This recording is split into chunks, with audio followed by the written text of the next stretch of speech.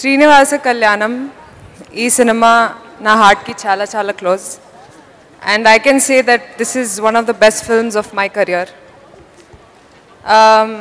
కథ చెప్పినప్పుడు నేను బాగా ఎమోషనల్ అయ్యాను ఎందుకంటే నేను నేను కూడా ఒక family person and I want thank my parents for that for ఇన్స్టిల్లింగ్ so many beautiful values in side me and అందుకే when I heard the script I just fell in love with it and నేను మమ్మీకి కూడా narrate చేశాను and I know that she had tears in her eyes I want to thank all the technicians, all the actors uh, who are a part of this film, and uh, Nitin.